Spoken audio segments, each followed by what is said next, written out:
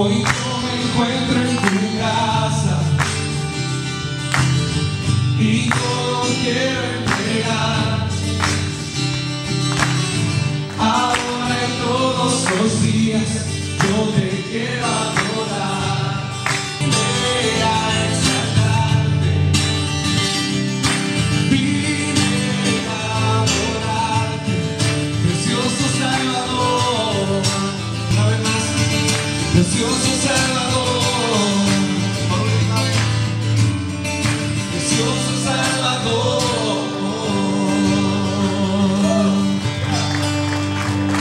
La razón por la que estamos aquí.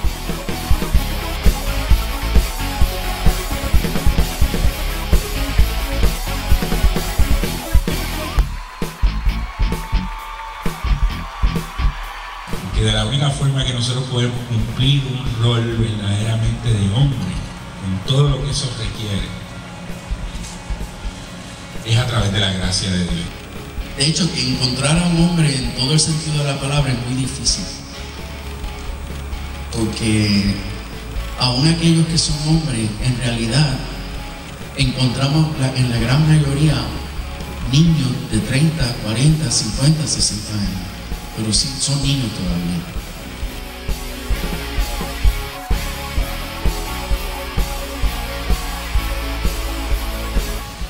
Porque la vida fue diseñada para que funcionara por medio del discipulado. Y donde no hay discipulado hay vacío. Donde no hay discipulado lo que hay es desiertos. Donde no hay discipulado no hay identidad. Porque el discipulado es el que imparte esa identidad.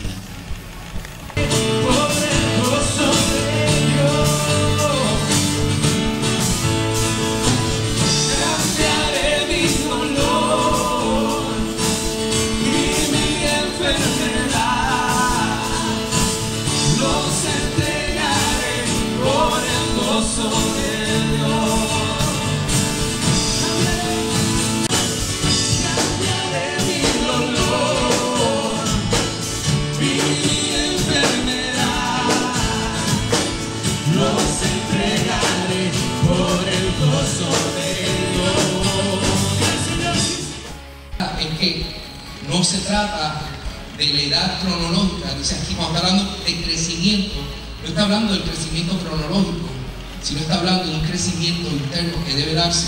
Y este crecimiento, esta madurez del ser humano y del hombre debe darse en todas las áreas. Debe darse en la manera en que nosotros hablamos, debe darse en la manera en que yo tomo mis decisiones, pero también como yo pienso.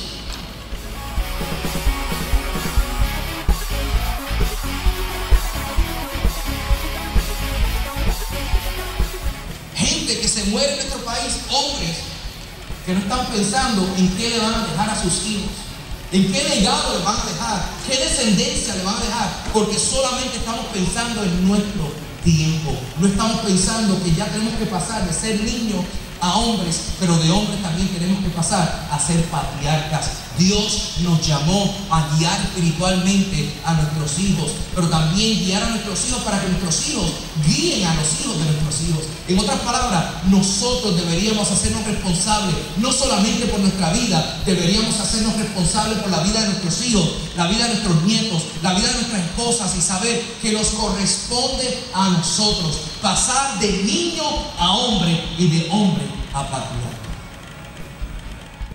Quédate,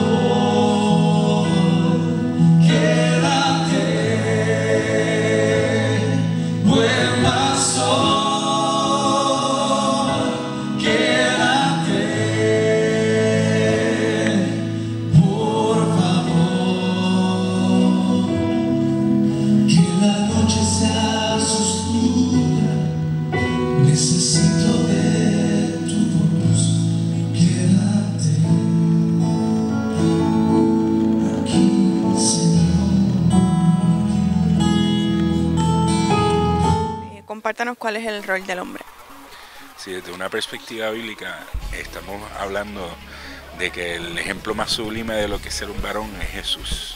Y Jesús nos enseñó que nosotros como, como hombres debemos asumir nuestras responsabilidades de una manera voluntaria, pero esas responsabilidades van a requerir de nosotros una actitud sacrificial.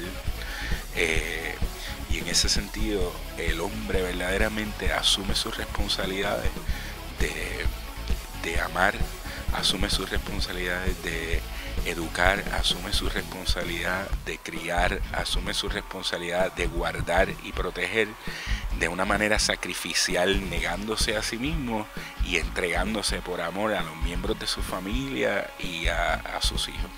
¿Cuán importante es rescatar la verdadera masculinidad en Puerto Rico y por qué? Eh, me parece que es esencial, porque las estadísticas muestran que aun cuando hay madres en hogares eh, de mamás solteras eh, o divorciadas, no obstante, la figura del papá ah, se, ha, se ha demostrado ser de una importancia esencial, porque los niños, la afirmación que reciben los niños a través de papá es lo que ayuda a reducir los casos de promiscuidad, los casos de embarazo en adolescentes, eh, los casos de estas tendencias hacia el bisexualismo, hacia la homosexualidad.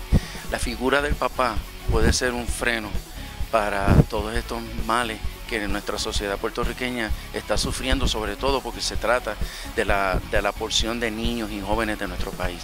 Quiere decir que los hombres, los papás, eh, jugamos un papel eh, llamado por Dios a jugarlo, tan importante que por la falta de esa figura, por eso estamos viviendo gran parte de nuestros problemas.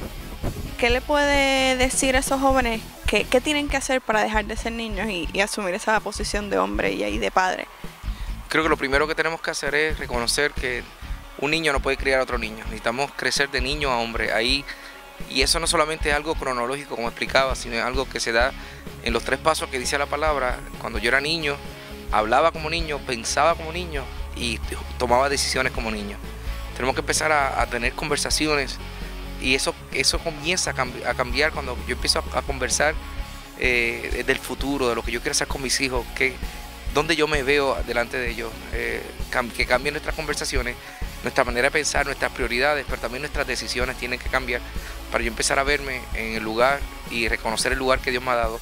Los hijos son un lugar de honra y es una confianza que Dios me da y yo tengo que recibir esa confianza con dignidad y con, mucho, mucho privilegio. Bueno, le explico que hoy estuve compartiendo sobre tres pasos importantes que hay en, la vida de todo hombre. Primero, ser niño, ser hombre y ser patriarca. Eh, cuando somos niños, hacemos lo que queremos. Cuando somos hombres, hacemos lo que, lo que tenemos. Y cuando somos patriarca, hacemos lo que debemos. Eh, el niño no asume responsabilidad, el hombre asume responsabilidad por sí mismo y el patriarca asume responsabilidad por sí mismo y por su familia. Yo creo que Dios está pidiendo en este tiempo que no solamente eh, crezcamos a ser hombres, sino que crezcamos de hombre a patriarca. ¿Y qué cosas pueden, eh, pueden pasar para yo no crecer ahí? Yo no entender el lugar que tengo. Y yo no entender que como hombre necesito crecer, asumir responsabilidad por la vida espiritual. Es una conciencia, una noción, un entendimiento del lugar que Dios me ha dado y del lugar de influencia que yo tengo cuando yo tomo ese lugar de influencia, yo puedo convertir la vida de mis hijos en vida de bendición e influenciarlos a ellos. Si acaso se la pasión en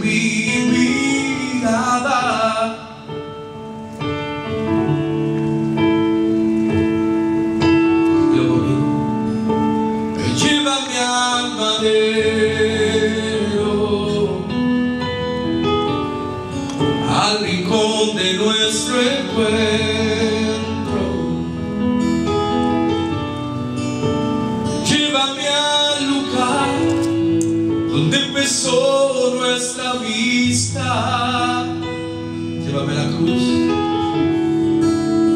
Llévame a la cruz. ¿Cuánto me conmigo? Llévame a la cruz. Llévame a la